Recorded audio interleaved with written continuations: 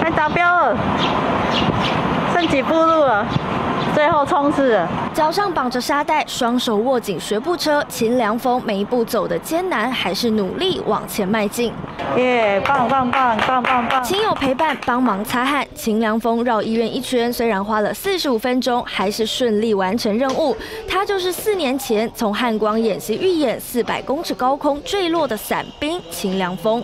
真的是用撑的，真的已经没有力了。他们弟兄就等于说他们有受过特战训嘛，所以他们就一直在激励他说：“啊，你不要再撑下去啊，你退训好了，这样去激励梁峰。”他让梁峰走完，最后终于达标。当年他奇迹生还，却也接近全身瘫痪，靠着坚强意志力持续复健。六月成功自行翻身，九月行动力再度有进步，让家人相当感动。因为这一路走来，对秦良峰跟他们家人来说，真的太不容易。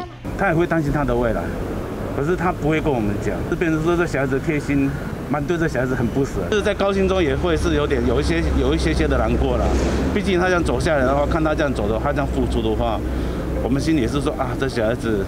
还要经历这一招。距离事故四年过去，三十岁的秦良峰一度被医疗团队不看好恢复状况，到如今凭着努力渐入佳境，感动众人，也盼他能早日回归正常生活。三立新闻胡石英、吴慧山高雄报道。